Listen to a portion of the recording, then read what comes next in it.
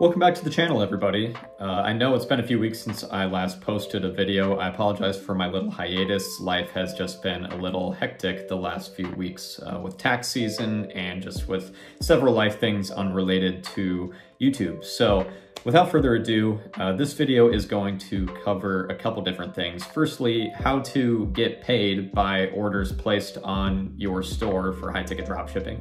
Secondly, how to pay your suppliers and fulfill those orders through your suppliers. So I apologize if some of this seems very obvious or straightforward to some of you. Um, this is really meant for people that are just getting into high ticket dropshipping or high ticket e-commerce in general and don't necessarily know how this works. Um, this is actually a question I get all the time. Uh, so just going to address these things here. I think this will be a pretty brief video. I'm just going to break it down when a customer places an order to the time that they receive that product. How does that whole process work? Where does the money come from? Where does the money go?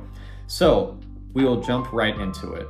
When a customer places an order on your store, those funds are captured by Shopify, assuming you're using Shopify. This will be done with whatever payment providers you offer on your store. I offer pretty much everything under the sun on mine. I don't really see any reason not to, although you can make an argument that things are a little risky with PayPal uh, which they are, and that's kind of a separate conversation. Most people, in my experience, pay for their orders with a credit card. That money is captured by Shopify, and it just kind of sits in your Shopify account for two business days. Otherwise, orders paid for with PayPal will go directly to your PayPal account, and you can access that money pretty much right away. But in the instance of Shopify payments, so that's MasterCard, Visa, Discover, etc., um, those funds will sit in your account for two business days, and then uh, the earliest that you can transfer them to your bank account, I just have an auto transfer, is after two business days of it being in your account. When a customer places the order, you want to send a purchase order to your respective supplier for that product. Um, this is in the interest of the customer receiving their product on time and in a timely manner and to give them good customer satisfaction. And so there are a couple ways to do this. I used to do this manually just using a uh, Google Sheets template, and this was very manual. I don't recommend doing this way. It took a long time, and I also, because it was copy and pasting, sometimes there were orders where I would literally copy and paste wrong information and a, a product would get sent to the wrong person, and that was just a, an enormous headache to, to deal with. So I ditched that uh, method pretty early on, and now I use an app called Auto Purchase Orders um, I just have it connected to my Shopify store. And so when a product is ordered, uh, it will recognize having built out these templates and supplier profiles in this app, it'll recognize that that, that product needs to be ordered from the supplier and shipped to the customer that ordered it. So it'll automatically put together a PDF purchase order and send it to the supplier within basically seconds of that order being placed. And this has saved me you know, a lot of time and a lot of human errors that otherwise led to uh, much more inconvenient problems to deal with.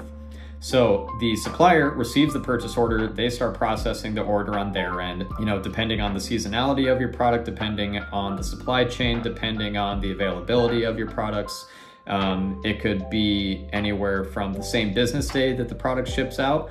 Uh, and in my situation, my best selling supplier in, in, the summertime will get up to several weeks before products ship out just because of the order volume and the availability of parts and materials. So uh, the, the way that most suppliers work uh, at least pretty much all of them that I've ever encountered, is they will invoice you upon shipment of that product. Um, some will, will not ship the product until you've paid your invoice to them, but pretty much across the board, all suppliers will invoice you for that product um, when that product ships out. And so uh, let's say you, this is, let's say this is your first order, uh, you don't have any real huge funds in your account that you are able to fund this with. Um, you have to wait for the funds from the customer to enter your account in order to pay for this. Um, that's fine. You can just tell your, your supplier it's going to be a day or two before I can pay this invoice because I need to wait for these funds to clear and they will understand that and Um, in some situations, they'll ship the product anyway and just give you a due date or net terms on your invoice, or they will just hold on to the product until you're able to pay for it. And then once you've paid your invoice, uh, you'll be able to ship it. So I hope that you're able to draw from that, that how you pay your suppliers for any order is from the funds that you receive from the customer, and then you keep the difference of the wholesale price and the retail price that you charge the customer. And that's that's essentially the basic essence of how high ticket dropshipping works and how you get paid. One other note that I have on this is it's really advantageous to have a business credit card linked to your business bank account. Um, and the reason being is A, uh, especially if you are just getting started and you want to be able to pay your invoices without having to wait for the funds to clear to your account. Uh, you have a line of credit available for you to do this. But on top of having a line of credit available for your use, if you have a business credit card that just automatically gets charged by your supplier every time you send a purchase order to them, that racks up so quickly. And I personally get about $20,000 plus per year just in credit card points by paying my supplier's invoices just with a single credit card. I use Chase Business Ink Preferred. Um, there are a lot of other great options out there that have really good travel points, that have really good cash back. But essentially, this is just an extra $20,000 for me in travel per year that otherwise I wouldn't have access to. So um, that's kind of a separate conversation in of itself. Um, I recommend having a business credit card for all business expenses because you can just rack up the points on Google Ads, on on supplier invoices, and that adds up a lot over you know just a couple of months. So um, that's really it. I mean, uh, again, this is just a question I get a lot, and that's that's the very basic process. A customer orders from your website, you send a purchase order to your supplier, you get the funds from your customer, you pay your supplier with those funds, and then the supplier ships the product to the customer. And that is the basic dynamic and that is the basic model of high ticket dropshipping. So I'm gonna cut that video here. If you haven't already, like, comment, subscribe on the channel, and we will see you in the next one.